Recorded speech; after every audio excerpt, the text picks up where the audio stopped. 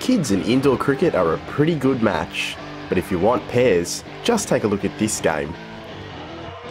You've got one and two, three and four, and five and six. Oh, and seven and eight. What do these kids have in common with these two indoor cricketing legends? Let's find out. My name's Blake Kelly and I'm 11 years old and I play for under 13s ACTY. I'm Flynn Kelly, I'm 12 and I'm from the ACT under 13s Blues. Lachlan and I play uh, for ACT uh, under 13s and I'm 10.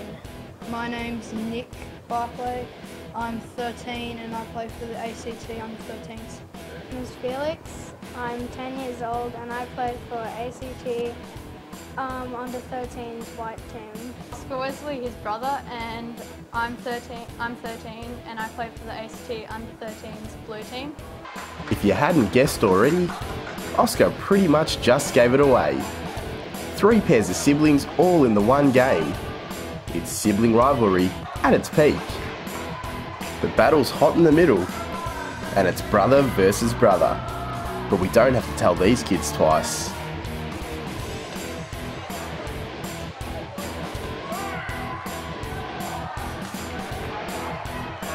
But what do they think the best thing about playing against their brother is?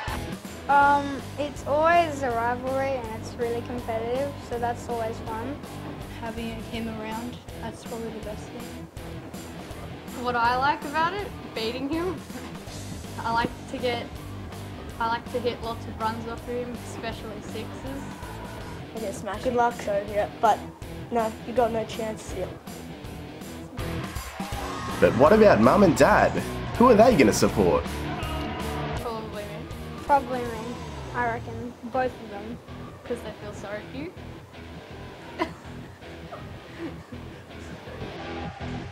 Where does mum Sasha Barclay's allegiances lie? She overlooks Nicholas's team, but has a keen eye on Lachlan too. Mum and dad. Mum's my manager, but she still loves like getting around both teams, watching both of us. And then dad, he loves um, both of us as cricketers as well. And back to arguably Australia's most famous indoor pair, these kids see a little bit of themselves in the Waugh Brothers. Oh, I think I'm the Steve Waugh. I'm, I'm the better one, so yeah.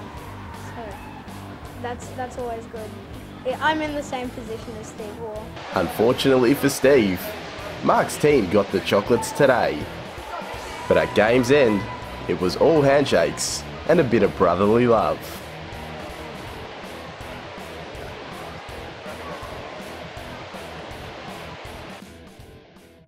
For the latest news, videos, and exclusive content, visit indoor.cricket.com.au, Australia's home of indoor cricket.